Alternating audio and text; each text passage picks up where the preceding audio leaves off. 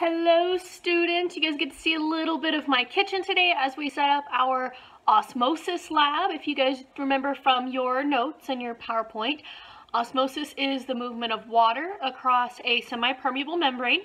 We're going to be taking a look at it today using carrots. Um, I have already chopped up some carrot slices and I've got them to be at 0.6 of an ounce. Um, each of them weigh the same before we go ahead and get started. Um, and what we're going to do today is we're going to put one into salt water and the other into just tap water.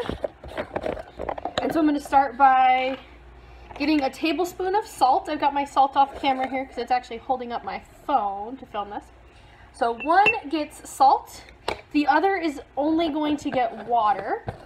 Got a jug of water here, um, distilled water actually. So I'm going to put distilled water in one, Distilled water means it has nothing else in it besides water. Okay, we're going to fill that up about halfway. And the other has the salt in it. Okay, and we're going to fill this up again about halfway to dissolve the salt. Okay, so our two trials are now set up there. Um, remember, our carrot slices each weigh 0.6 of an ounce. Okay, yes, I weighed them out and everything for you, so go ahead and make sure you jot that in the starting weight place. All right, so one piece of carrot is going in our distilled water. One piece of carrot is going in our salty water. And I am going to put lids on both of these. And they are going to sit on the counter overnight. And I'll come back to you guys when uh, that time is up and we'll re-weigh them. Okay, we are checking in on our osmosis lab, and as a refresher, osmosis is the movement of water across semi-permeable membrane. In these jars, we have our carrots, each weighing 0.6 ounces. Um, when we started, we're going to take them out, we're going to re-weigh them today. Um, we'll start with our saltwater uh, carrot here.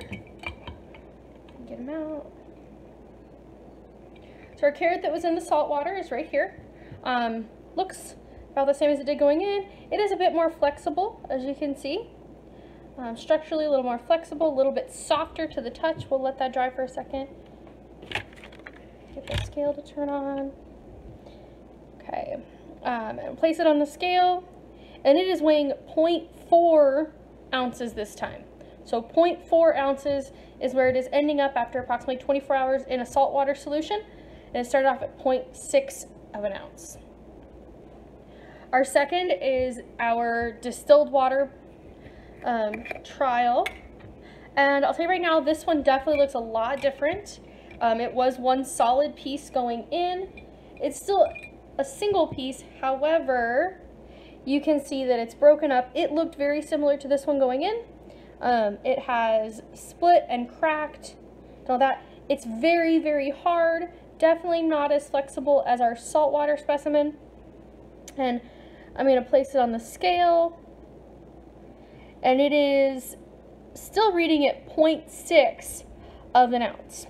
It is still at 0.6 of an ounce, um, but it has drastically changed in what it looks like. You can compare the two specimen. They both started off looking like this, just a single chip of carrot. This one has expanded, exploded kind of thing, split open. Um, so there's your two comparisons. This one did not gain or lose any weight, um, but did change shape. It is still 0.6 of an ounce. This one here, a lot softer, came out of our saltwater solution, um, and is down to 0.4 of an ounce. So it lost 0.2 of an ounce. So distilled water, salt water. Hopefully that lets you guys kind of draw some conclusions um, about osmosis, meaning which direction the water moved. I'll tell you there was water movement.